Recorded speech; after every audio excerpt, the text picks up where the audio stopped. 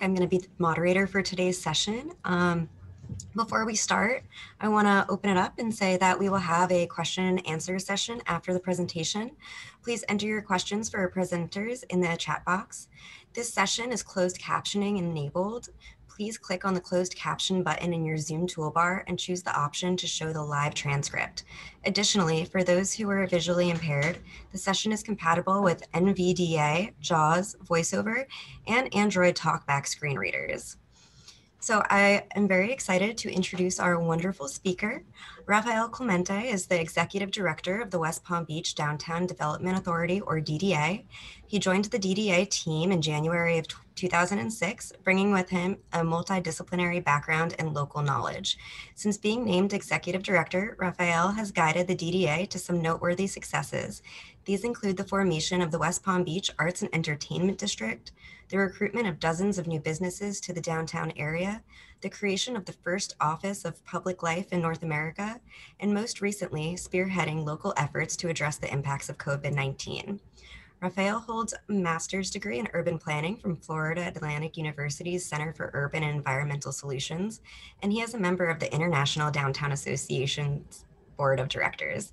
I'm very excited to let him uh, kick off the presentation and speak. Thanks, Alyssa.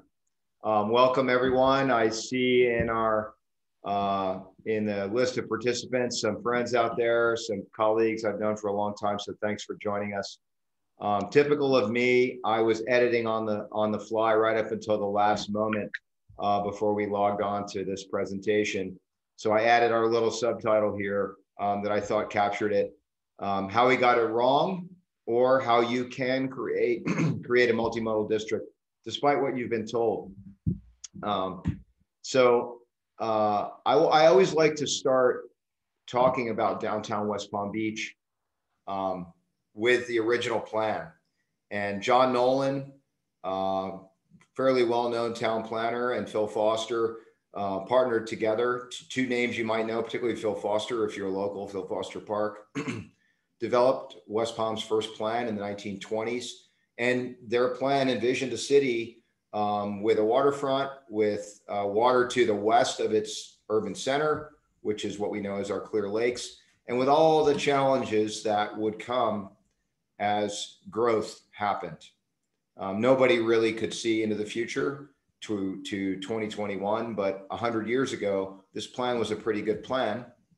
And for the most part, um, it has come to be. Uh, our urban center has grown up to be a fairly dense mid-sized, uh, mid-sized downtown area. The eight, roughly eight miles of the city from north to south, and considering what we have east of I-95, um, is fairly well connected uh, and relatively speaking, a walkable, transit capable area. Um, just a quick bit of stats on downtown West Palm Beach today.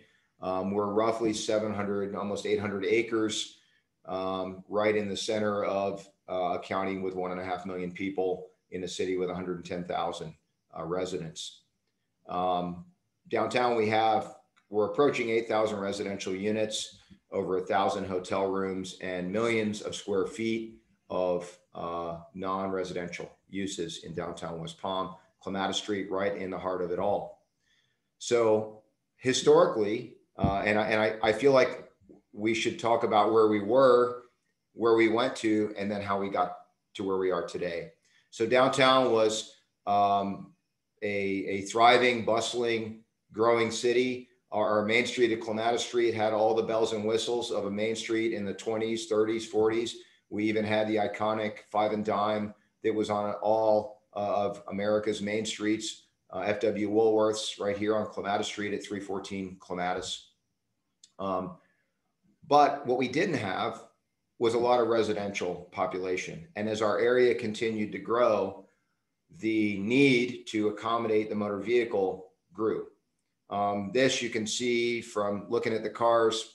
People might guess better than me, but maybe in the late 50s or early 60s, um, our main street at Clematis, three lanes, one way eastbound, parking on both sides, no shade, uh, five foot wide sidewalks. But you can see who's here. J.C. Penney uh, here, the big vertical sign in the distance, Belk's, a large department store, Anthony's here, Walgreens here on the corner, which is now Duffy's. This is Olive Avenue at the cross section.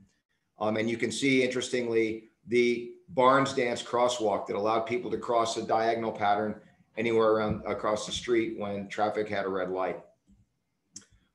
But the suburbs were growing.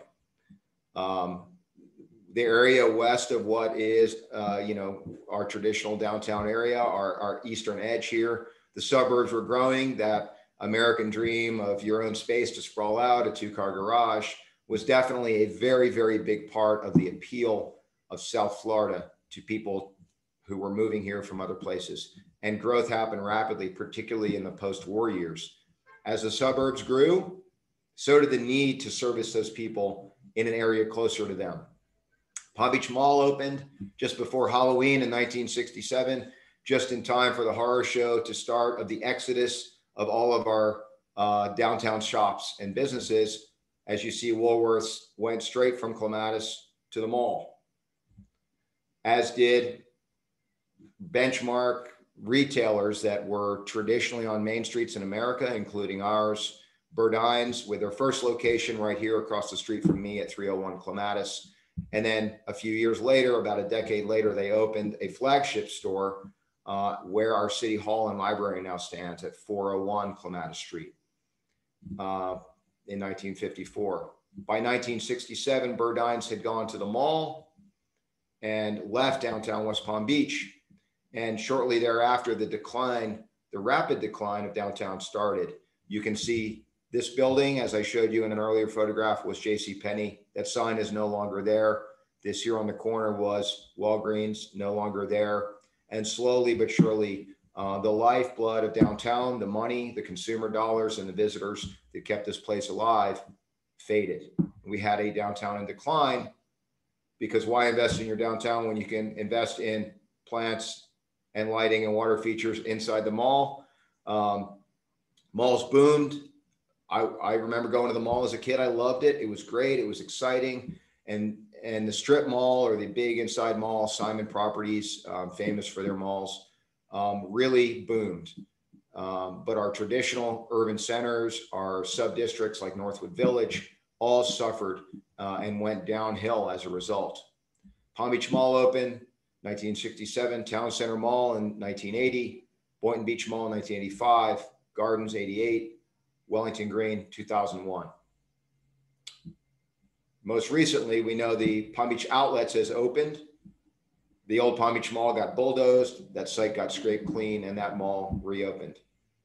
While all that happened, every one of those was a little cut to our urban districts, in, including downtown West Palm. This is the area that is now City Place in these two photographs. That's the Hilton or sorry, the Marriott, that's Okeechobee Boulevard. You can see Clear Lake in the distance. Everything east of that is now City Place, not the city we recognize today at all. In fact, headlines ran about the destruction of downtown, the fabric of downtown, um, with this headline from 1989 Wreckers and arsonists crumble the city's past. Um, in fact, this little paragraph here an estimated 65 fires have burned vacant buildings in the area this year amazing, right? But it did set the stage for renewal. Um, this picture tells a very uh, powerful story. And if you take a look at this picture, just focus your eyes on everything that is not a building and it is all dedicated to the single occupant vehicle. Every street, this is Olive Avenue. It's three lanes, one way north. Dixie Highway, three lines, one, three lanes, one way south and every cross street, Datura, Evernia, Fern, etc., were three lanes. Every one of these roads was a three lane road because the prevailing uh, approach to uh, design and engineering was that we had to move as many cars in and out of our downtown district as fast as we could. Definitely a lot of people coming here to work every day, but when they left, this is what they left. They left a place of disinvestment um, without any character at all. Uh, this is in the probably mid or late 80s. This is Clematis Street looking west. This is now CVS. This was the Burdines building, is now City Hall and the library. Um, but a place that is um, a uh, the epitome of a downtown in decline. A very bold vision was created, and here's where we get to that renewal part. Um, in the in the early 90s, um, city leadership, uh, property owners, um, residents of this of the city in general, all came together and coalesced around the idea of revitalizing our urban center, and some visionary plans were put in place for that, um, including the built environment, streetscape enhancements to the physical place, and policy uh, changes that were made to allow the density and development pattern necessary for an urban place to thrive. These two documents, the, the, the original streetscape that was done in the 90s, it took us from three lanes down to two and restored the traditional Main Street configuration of Clematis. And the downtown master plan document um, put into print uh, in December of 1995. Um, Andres Duany, Elizabeth Plater Zyberk, and others worked on that plan. And it was truly a visionary plan, continues to influence downtown today. In conjunction with that plan, we had to address motor vehicle traffic because at the time and to this day, traffic for performance standards, level of service um, strongly influenced how and what you could develop. So this document, the transportation concurrency exception area, this plan was drafted in 1997, made this very bold statement. Um, I won't read it to you, but words jump out. The city cannot simultaneously achieve livability, sustainability, and concurrency, meaning traffic concurrency in downtown West Palm Beach. So the city, the stakeholder group here appealed to the state and the county to free them from level of service standards and allow them to take a different approach. To, to do that, they had to prove, or at least attempt to prove, that they could address what the forecasted traffic would be, the trip generation rates based on all the development they wanted to do, that we wanted to do here. Uh, and we, and the, the, for, the forecast year, the threshold year was 2015. And if you look at some of these numbers, four lane, divided highway, level of service D, 31,000 vehicles a day. They made a bunch of predictions about what traffic would be if development happened per the plan by this particular year. The beauty is now we have data to see really what happened over that period of time. The approach, and we're going to get back to that. So remember that slide. The approach that we took here, and this is sort of a napkin sketch of how we saved the world uh, from a um, a uh, overzealous engineering approach. Traditional, this is where we came from, traffic engineering, and let's they tell us how we do everything. And I'm not slamming traffic engineers at all. I'm suggesting that we need to invert that cone and study and determine who we want to be and what we want to be and how we want to live our lives and then give it to the engineers and say this is what we want you to build for us i really believe that traffic engineers uh, particularly now, can be the heroes of revitalizing our places, our urban places, our neighborhoods, and make them making them work much better for people and and drivers of, of automobiles, uh, pedestrians, bicyclists, etc., all modes. The principles that guided the plan and all of the uh, approaches that were taken were to uh, to improve the public realm and the private realm simultaneously. The built form focusing on building placement, how the buildings address the street, were there active uses, was it a mixed use place? And then the public realm, parks, sidewalks, streetscapes. Thinking of streets as places is a critical element uh, to making a good urban district. So the idea of making places for people in your urban place, in your urban down, in your urban district. Uh, I like to call this the magic triangle. When we think about that dual-sided approach, of public and private realm. At the intersection of that triangle, that's where those two places meet. The public sector and the private sector come together at this edge or the opportunity zone. This is where I focus most of my efforts as the director of the DDA is in this magic triangle. The first two stories of the building out to the motor vehicle lane. How good can we make that space is the question we have to ask ourselves. Today we did a, a bike tour of downtown and we focused entirely on this, this realm here. In the plan document, and in the guiding principles and in the development of staff, uh, in the communication with our stakeholder group, we put at the center of all of that the idea of creating a good, healthy, vibrant, attractive place. I love this this uh, picture. This is a actually a poster, an image from Project for Public Spaces, and it has place in the middle of it like a bullseye. Maybe not necessarily think of this as yes a geographic place, but also the place as you think of the place, your perception of the place. If you can use these words to describe your place, this green ring around the center bullseye. Um, and these are the these are the things we're trying to achieve. These are the measurables. How do we measure number of women and children, social networks, local business ownership, etc? But if people use these words on the left-hand slide of this slide to describe your place, you have done well. If they don't use those words, you have work to do. So we set about trying to achieve those outcomes: charming, fun, inviting, welcoming, celebratory, et cetera, with a bunch of strategic investments in the public realm, most of them in that magic triangle space. And of course, enabling the private sector to do the vertical development to create the density necessary to put people on the street here. And this was a series of trial and error projects, programs, tests, interventions. Um, something we started doing in downtown in about 2007 was parking day Remember the slide of those roads that are three lanes, one way, all over downtown? We started exploring ways we could chip away at all that automobile space and reclaim some of it for people. Uh, parking day, and then eventually evolved into our Parklet program, um, set the stage for what has become a curbless street and more curbless streets coming into in the downtown area because it, it makes a seamless connection from building to building that gives everyone an opportunity. And we'll, we'll talk about that. But these little experiments were really important at starting the conversation with leadership and with our community of stakeholders.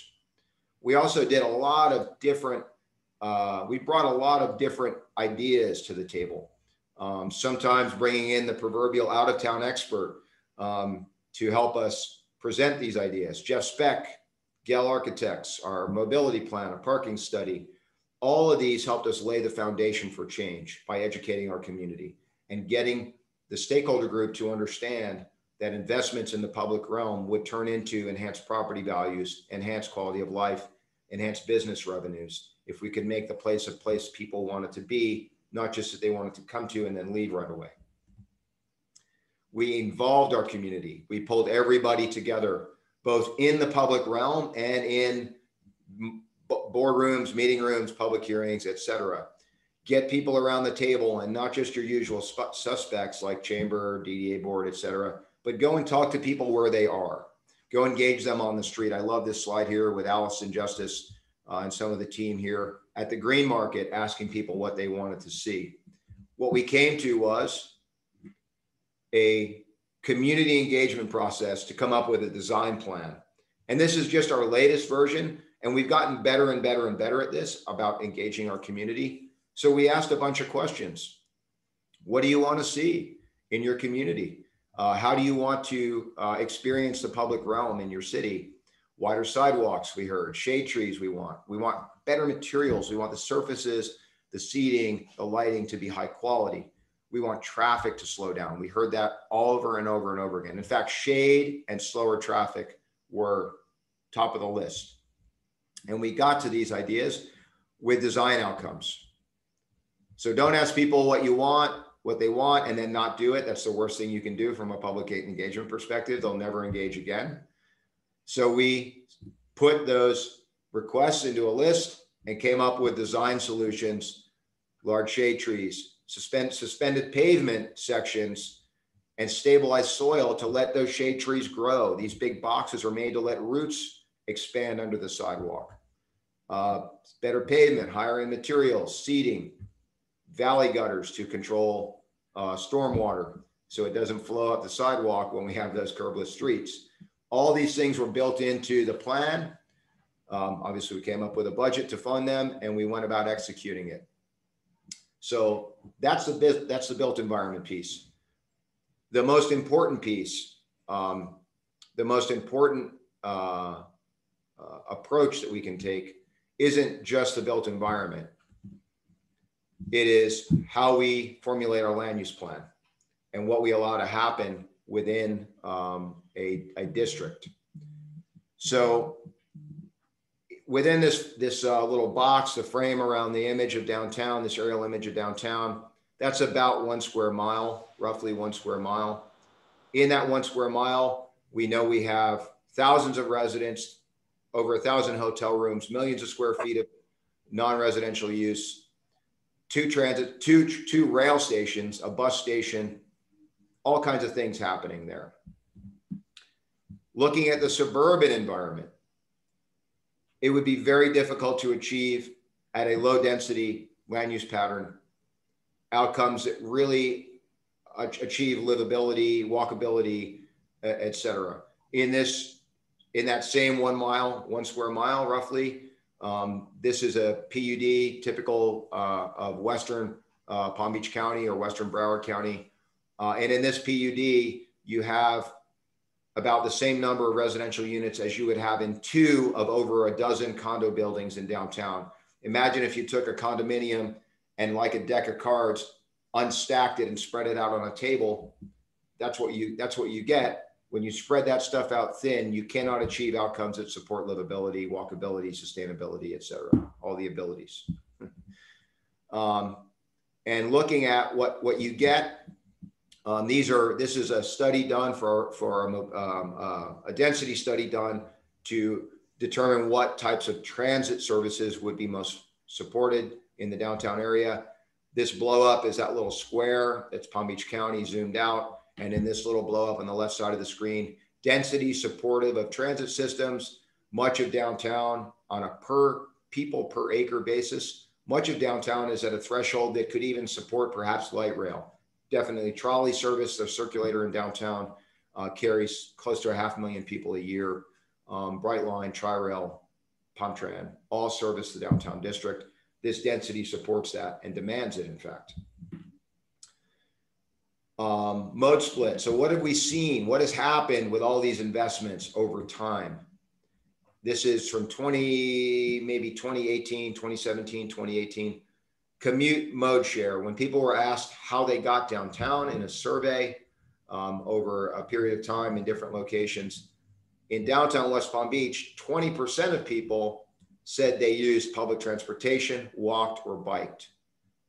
Others said they did something else carpool, taxi, worked at home. But you can see a significant chunk of people in downtown West Palm Beach got to work without the use of a private vehicle. I'm most I'm most excited about this, um, the far right end of that little graph. In the city of West Palm Beach, it goes down to 8%, less than half. And then in Palm Beach County overall, much less, the walk and bike. And I can tell you from experience uh, and from uh, 20 years of working in the field of urban planning and transportation planning in Palm Beach County, that 5% county-wide is probably underreported but it's also probably a population that does not have the op- the opportunity or the uh, privilege of owning and operating a car. So walking and biking to where they go or riding transit is their only option. Um, that is not a good position to be in for anyone. It's something that we should consider as we talk about how we improve our transportation system. So getting back to those forecasts and sort of my enticing title of how we got it wrong Here's how we got it wrong. The forecasts all greatly inflated the number of trips that would be generated by the amount of development within the downtown district per that master plan that was drafted in 1995. So Okeechobee Boulevard um, between Dixie Highway and Tamarind Avenue, basically when you enter downtown until you get to Dixie, forecast trips, 73,000. Actual trips today, 49,000. Way off, way off. Historic daily traffic volumes throughout downtown, and I have data going back beyond this and later than this, but this was a convenient slide to have. Everything has gone down between 2005 and 2014, despite the amount of development. And you say, well, there's gridlock. I see traffic at peak hour. Yes, absolutely. We do have traffic at peak hour. But if you don't have traffic at peak hour, you have nothing going on in your place. People have to get there. People have to drive in. We have to move vehicles. So traffic is a indicator of a successful place in many ways. Um, whether or not people view it that way is a different story. Bicycle parking counts. This was uh, earlier this year, pre-COVID. I walked around uh, on on various days in downtown, AM and PM peak hour, and you can see on average um, in the morning and in the afternoons, uh, there's about 100 bikes parked. This is just in the Clematis corridor, by the way. This is not even close to downtown wide. Um, this is in the Clematis corridor in an area that is predominantly served by the Banyan Garage. And 100, if those bikes were turned magically into cars, 100 cars is one entire floor roughly of the Banyan Garage. So when we want to address our parking issues, multimodal, creating a better environment for multimodal transportation is key to that. And most of the people whose bicycles these are, these are parked in the Clematis corridor are coming to work in downtown. And to give you a little bit of an indication, a place like Duffy's on Clematis or a place like Rocco's on Clematis through their entire day to day shift over a week. Um, you know, they open at say 11 a.m. and they close at 2 a.m. They employ about 75 people. 75 people work for Rocco's Tacos in downtown West Palm Beach. Some of them are the chef, um, the, the bar, the bartenders, the hostess. A lot of them are waiters, waitresses, barbacks, busboys, prep, prep cooks, etc. A very broad range of income levels and allowing people to not pay that $10 parking fee every day puts a lot more money in their pocket. Um, how can we do better? And this is an important conversation to have considering the audience uh, on this session. Um, I, I, asked a question earlier this year of Palm Beach County's uh, impact fee office. If we were to build new office, if we were to build a brand new 5,000 square foot office in downtown, what would the roadway impact fee be based on the trip generation rates. So the answer I got from the uh, uh, man, the manager of the growth management program and traffic said there are two trip generation rates, and the dividing line is 5,000 square feet. From a 5,000 square foot office space, the net daily trips will be 73 trips. And when I asked how many of those, what type of offset or credit was given for a incredibly multi, multimodal walkable place, like almost none. So the impact fee would be for a new 5,000 square foot office. The roadway impact fee only would be seven, almost $18,000. In Palm Beach County, the impact fee ordinance mandates that that $17,745 impact fee can only be used on new asphalt. It cannot be used on a transit shelter, uh, a bike rack, it cannot be used to increase capacity of moving people in an urban place other than new asphalt. And we know we are not going to build a new lane anywhere in downtown West Palm Beach because that would require us to eminent domain property or bulldoze trees or something. It's antithetical to the idea of urban infill. So I did a little digging. The DDA office uh, we're 5,200 square feet. There are eight, the eight of us that work here. We have 16 car trips a day, way less than 73. Um, about 18 walk trips. A lot of those are uh, going to lunch, going to coffee, going to City Hall for a meeting. They're not car trips, but the way they're forecast in the county's impact fee ordinance and trip generation table is that any trip is a car trip uh, 6,000 square foot office space with 24 employees, a hedge fund uh, at 200 Clematis Street generates 40 car trips with 24 employees, two bike trips, four train trips, train or bus trips, and 26 walk trips. Way less than the 73 car trips. What can we do with 17,000 or $18,000 in downtown with infrastructure, which is what you have to spend impact fee money on? Bus shelter, 6,000 bucks. Modular bus shelter, Bike rack, 600 bucks. New decorative street lighting, 2,500 bucks per. So do the math on $18,000 and what you could do with that. Now multiply that by a 10-story office building and a one or two million dollar roadway impact fee and think of the infrastructure enhancement you could do with those numbers on the ground level to improve the quality of the place and facilitate even more mode shift. So it's a virtuous cycle, if that makes sense. So how have we shifted? How have we evolved over time? How am I doing on time, Alyssa, by the way?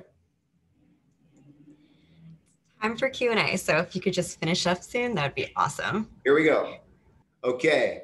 Um, over time, looking back historically, we had in the 1970s on Clematis Street, using it as an example, 72% of the space for cars, 28% for people, 63% by the 1990s with 37% for people. And today with our curbless configuration, we've crossed that line 45% allocated to motor vehicles and 55% to people. So we have evolved and gotten better and better.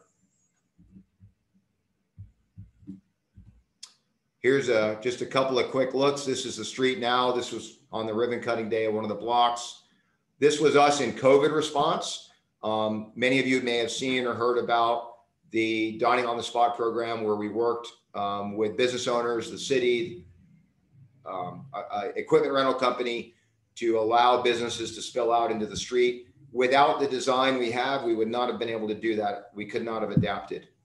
Just a couple of quick looks at those different configurations of how we allowed this to happen. Um, again, the public realm and the design of the public realm was the only way this could have happened. Some more just quick looks. We'll get to Q&A. The future. This is what we're working on for the future. How much better can we get? Um, and just some design drawings, all credit to Victor Dover and his team and Cheryl Moriente in the DDA office here for coming up with these proposals for how we can even do more to enhance the public realm and entice people to get out of their cars and make it as enjoyable and uh, exquisite an experience as we can. And then just how we've adapted, just some looks at what's happening now. This is the 500 block on the weekends. Go check them out. And then finally, just the street level experience. Um, if you haven't been downtown, uh, I invite you to come. If you are interested and want to reach out to me, Raphael at the Downtown Development Authority, I would be more than happy to meet you on the street and go for a walk and talk about how we got here. And with that, I'm ready for questions. Well, thank you so much, Raphael. That was a great presentation, and thank you for all of the attendees for joining us today. Um, I am going to start reading some questions, and you can take a stab at it the best you can. So first up, um, are there any, are any of these roads downtown maintained by the county or the state? If they are, then how are you able to effectively disregard the transportation model and focus on implementing more multimodal improvements? Um, so, so that's a great question. Um, and we didn't disregard the transportation models. What we did was get a traffic, a transportation concurrency exception. That means that this district was granted a, pass on achieving single occupant vehicle level of service standards, but we were required to do all kinds of other things. The trolley is a circulator, walkability enhancements, uh, bikeability enhancements, et cetera, et cetera. So we had to provide, we had to work on creating other capacity to offset the loss of those lanes and the and the additional growth. Um, that's part of the, the, first part of the question. Um, does DOT or county or others maintain roads in downtown? Um, DOT used to have Dixie and Olive, and the city had Quadrille. And I, as I understand it, they swapped so the city could actually do the enhancements they wanted to do to Dixie and Olive, State Road 5, or at least Olive Avenue, State Road 5. And DOT took over Quadrille Boulevard as the bypass. Um, however, this, the city has a maintenance agreement with DOT, and DOT has gotten much, much better uh, with context sensitive design and allowing urban districts to make those types of improvements uh, in their downtowns. Thanks. I have a little bit of a shorter one coming up. Uh, is it only Clematis that is curbless, or have you tried that on other streets as well? Um, uh, Clematis and Rosemary Square, Rosemary Avenue through um, what was City Place, now Rosemary Square, is curbless. Uh, and even outside of the downtown in the northwest neighborhood, 7th Street is curbless. And there are plans to do other areas uh, of downtown, perhaps Evernia Street, Datura, um, where you have um, commercial frontage and or residential frontage on those streets. But again, it's it's where it's most appropriate, where speeds are appropriate, and where those where the edges are conducive to that. So yes, there are, there's more than just clematis. How are canopies attached to private properties achieved? Is there a specific process to make this a requirement? Um, uh, like uh, an awning, I would guess, off of a building to cover the sidewalk. Um, I'm guessing that's the question. Uh, so those are not a requirement, um, but they are strongly encouraged. Um, it's a permit process, uh, and the Downtown Development Authority even has an incentive program we call our facade enhancement program. It's a grant that matches up to $10,000, dollar for dollar, up to $10,000 for enhancements to building facades at the ground level. Um, and we strongly encourage awnings where you have pedestrian frontage. So we do all we can to encourage it, but it's not a requirement. Okay, this one's a little longer. Thanks so much for a thorough review of the history of West Palm Beach.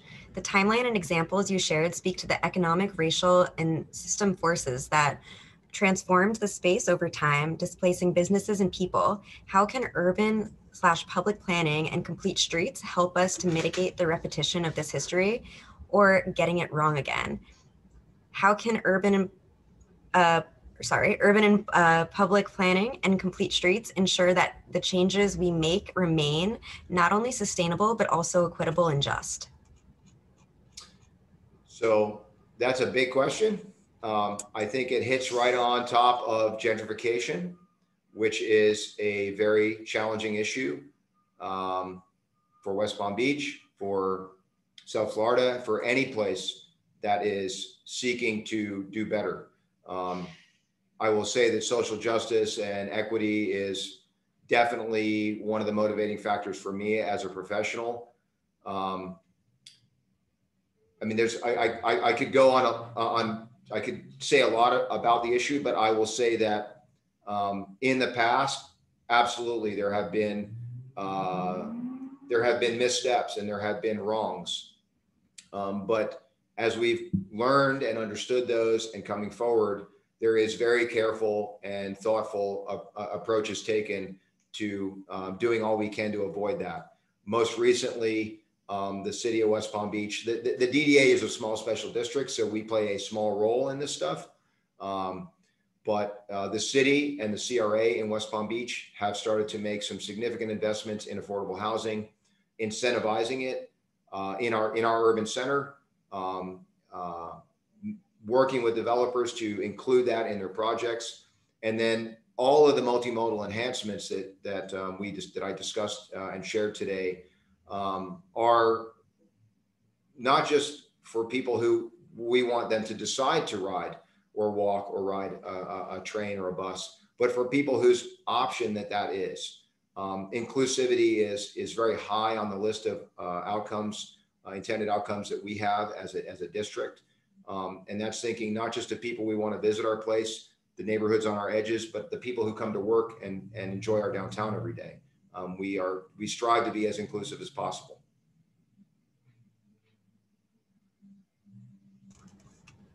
You spoke about getting the community involved and getting their feedback and ideas. What was your approach to get the most representative samples of the community and how did you get the elderly, the youth, and the low income people involved? You, you I, I'm a big believer in you have to go to people where they are. Um, you, you have to go down to on the on the street. You have to go to events. You have to reach out to the to the neighborhoods all around you. Talk to people on the street. Um, you you have to go to people where they are. You know, because typically, and, and we did that, and we do that increasingly. Historically, public input was uh, here's a comment card, fill it out. We're going to hold a couple of meetings here and there. You're invited to come. That misses a lot of people. So we try to take a broad approach online. There's a website, there's a survey, there's an email address, there, there are public meetings, and not just at City Hall, in the neighborhood. We will go to you and talk to you where you are. We will go to the green market and engage people on the street there. We'll talk to the people that are coming to work in downtown every day um, to gauge their input and understand their needs. Um, so, yes, just like the issue of inclusivity and, and being cautious about gentrification, the public input process has evolved as well as as we as the public sector have become more understanding and aware of the fact that we have missed many, many times missed in the past, um, engaging the people that we really need to hear from.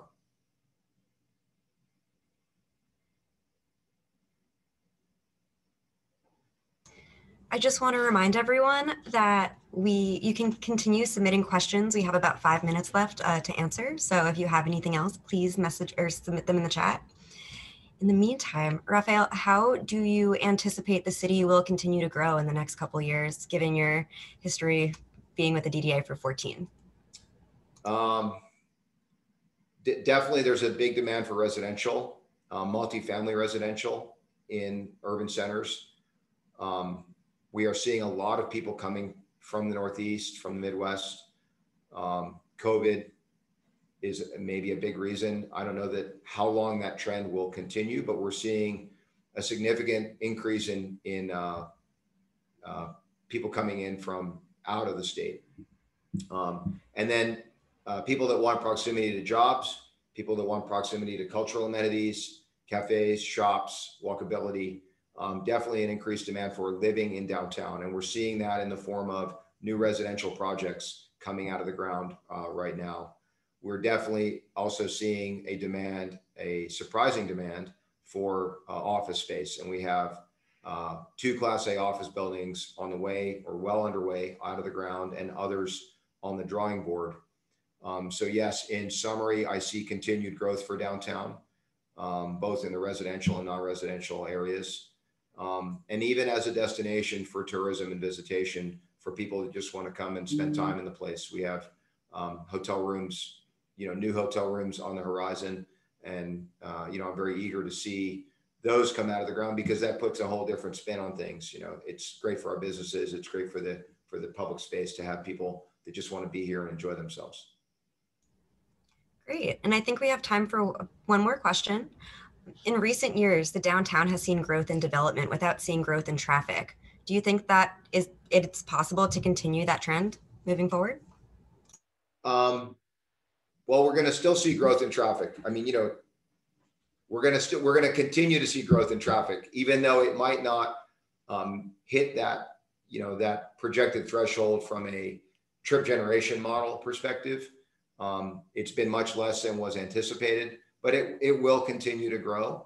Um, I think the more mixed use and the denser we get, the better the better we can deal with, um, you know, everyone's heard the term uh, internal trip capture. I'm assuming most people have heard that phrase, internal trip capture. The more mixed use and the more denser place becomes, the uh, less need there is to drive everywhere.